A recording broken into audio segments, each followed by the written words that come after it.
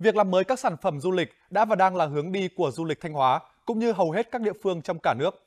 Với mục tiêu tận dụng lợi thế, hướng tới xây dựng một điểm đến đa dịch vụ, ngành du lịch Thanh Hóa đang khai thác tối đa tiềm năng thế mạnh và gia tăng trải nghiệm, tăng chi tiêu của khách du lịch khi đến với xứ Thanh.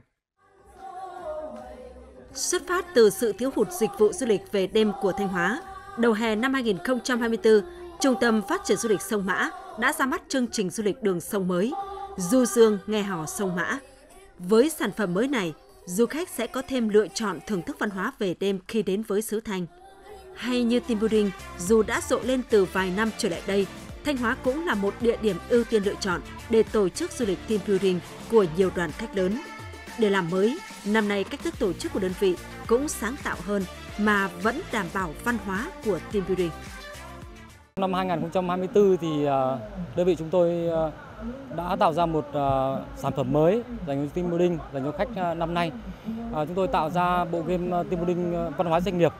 Chúng tôi sẽ đi sâu vào giá trị cốt lõi của mỗi một doanh nghiệp để giúp cho các thành viên của các công ty gắn kết với nhau hơn, yêu thương nhau hơn và tự hào về đơn vị doanh nghiệp của họ.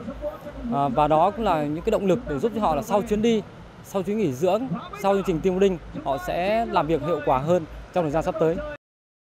Đến nay, yếu tố mùa vụ vẫn là hạn chế lớn nhất của du lịch Thanh Hóa. Vì vậy, tỉnh Thanh Hóa đặc biệt quan tâm đổi mới sản phẩm du lịch biển.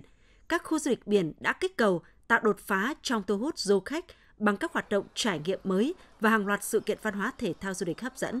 Qua đó, giúp du lịch biển thu hút 1,1 triệu lượt khách trên 1,5 triệu lượt khách dịp nghỉ lễ vừa qua, đưa Thanh Hóa trở thành địa phương dẫn đầu lượng khách trong cả nước. Và việc nỗ lực làm mới sản phẩm cũng như đa dạng dịch vụ được xem là lý do lượng khách tăng. Năm sau, luôn cao hơn năm trước. Đây được xem là hướng đi phù hợp để các địa phương đơn vị tiếp tục phát huy.